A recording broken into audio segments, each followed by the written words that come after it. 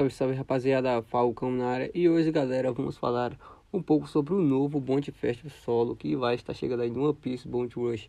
Na minha opinião, será o SBR. Mas antes de tudo, né, peço que vocês deixem aquele like insano que ajuda demais. E o Falcones só agradece. Se não for inscrito, se inscreve aí que ajuda mais ainda. Ah, galera, e deixa também a opinião de vocês, né? Quero saber quem vocês acham que vai ser esse novo Bounty Festival. Com certeza ele vai vir muito forte porque vai ser uma unidade única, ou seja, só vai ter ele chegando no jogo. Então, espere e verão um personagem muito cabuloso de se enfrentar nas ranqueadas. Talvez seja um counter do Shanks ou talvez um counter para cauterizar os counters do Shanks já, né, minha tropa?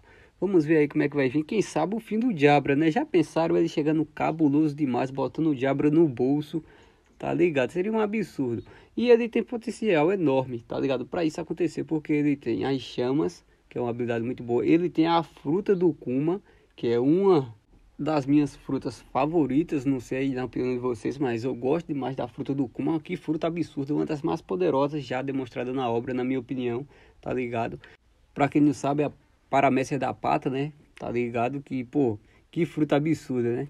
Vamos ver como é que o jogo vai trazer, não, mas esse personagem tem um potencial enorme para ser um absurdo. Talvez ele venha para cauterizar o Shanks, ou talvez o Diabra, ou talvez outro personagem aí do meta. Ele deve vir como um atacante, já que o último personagem que recebeu foi a Ultra Halloween e a Vegapunk Lilith. A Ultra Halloween, só lembrando a vocês, eu acho que todo mundo já sabe, ela chegou no jogo como corredora com mudança para Defender e a Vegapunk Lilith chegou como defender, ou seja, não chegou nenhum atacante, que vai ser o Kuma. Kuma não, né? SBR, o filho do Kuma. Chegando aí como o B10 demais, casca grossa, chegando com efeito de chamas, chegando com uma fruta roubada, que é a fruta da pata, e os lasers do Kizaru. Tem um potencial enorme para vir absurdo e quebrado, e com certeza, por ser uma unidade única, vai vir desse mesmo jeito. Mas é isso, galera. Esse foi o vídeo. Fique ligado no Kuma. Vocês não perdem por esperar. Vai ser um dos melhores Bounty Festivals já lançado no game. Mas é isso, galera. Tamo junto, é nóis. E fui. Deixe um like aí no vídeo para fortalecer o canal do Falcones. Tamo junto, é nóis. E até a próxima. Fique com Deus. E fui, galera. Antes de eu ir, galera, eu tenho uma pergunta para vocês. Vocês vão gastar seus diamantes no SBR?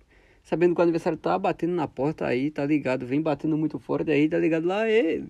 Mas, mas é isso, galera. Eu acho que eu vou guardar meus diamantes. Ele pode vir um absurdo aí, mas o aniversário vai chegar com um Garp Galaxy Empate. Eu prefiro o Garp na minha conta, tá ligado? Fui, galera, e até a próxima.